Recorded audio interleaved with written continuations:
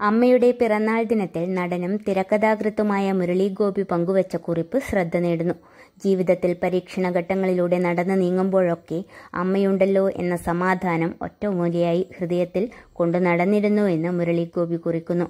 അമ്മയുടെ എൺപതാം പിറന്നാളിനോടനുബന്ധിച്ചായിരുന്നു മുരളിയുടെ പോസ്റ്റ്. ഇന്ന് അമ്മയ്ക്ക് എൺപത് തികയുന്ന ദിവസം. ജീവിതത്തിൽ പരീക്ഷണഘട്ടങ്ങളിലൂടെ നടന്നു നീങ്ങുമ്പോഴൊക്കെ അമ്മയുണ്ടല്ലോ എന്ന സമാധാനം ഒരു ഒറ്റമൂലിയായി ഹൃദയത്തിൽ കൊണ്ട് നടന്നിരുന്നു. ഇപ്പോഴും അത് അങ്ങനെ തന്നെ.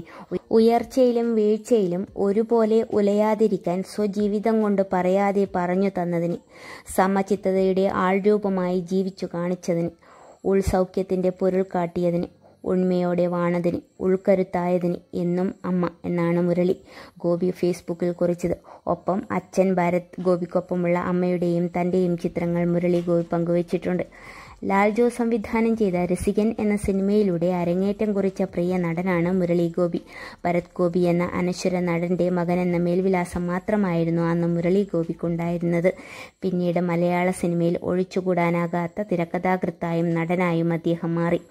ലൂസിഫർ ഉൾപ്പെടെയുള്ള സൂപ്പർ ഹിറ്റ് ചിത്രങ്ങൾക്ക് മുരളി ഗോപിയുടെ തൂലികയിലൂടെ ജീവൻ വെച്ചു. ലൂസിഫറിന്റെ രണ്ടാം ഭാഗത്തിനായുള്ള കാത്തിരിപ്പിലാണ് സിനിമാ ആസ്വാദകർ. എമ്പൂരാൻ മുരളി ഗോപിയുടെ തൂലികയിൽ നിന്നും ഉയരുന്ന മറ്റൊരു സൂപ്പർ ഹിറ്റാകുമെന്നാണ് ആരാധകർ ഒന്നടങ്കം പറയുന്നത്.